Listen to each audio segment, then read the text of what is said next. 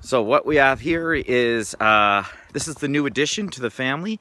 It's a boat that my neighbor had given me. It's called the Tadpole. It's got... The boat is actually 23 feet long and 8 feet wide. So anyway, this thing's a beast.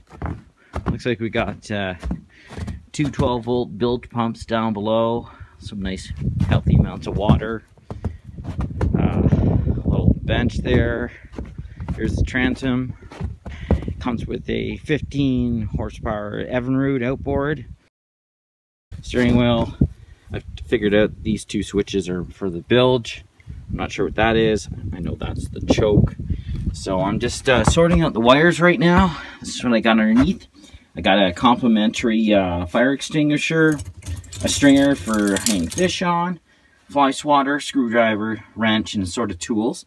I'm, I'm actually pretty pleased about getting extra tools. So what I'm going to do now is I'm going to hook this these leads here up to a battery, see if I can get the bilge pumps going, and uh, pump out the water before I pull it up on the shore. My neighbor's coming up tomorrow. He's got his funky winch on his Jeep, and we're going to pull it right up into this little section here so it's out of the water and I can work on it and not worry about the water line, the, the lake.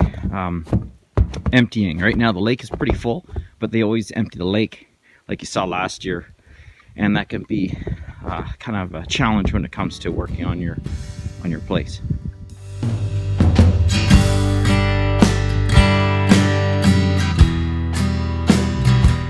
Okay, we got the boat on the winch line and we're about to winch it up.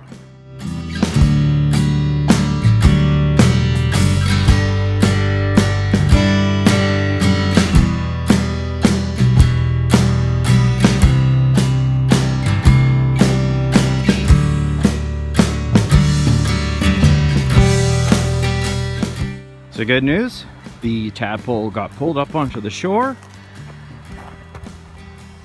Got some logs underneath there. The keel's resting on. And we used some other logs as sliders. And there's what we've had the entrance. So now I can pull the plug there, have it drain, not worry about any water buildup.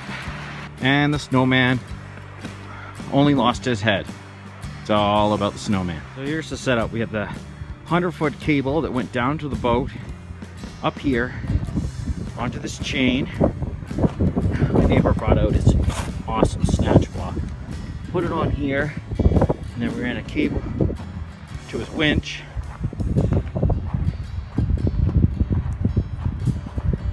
To his Jeep.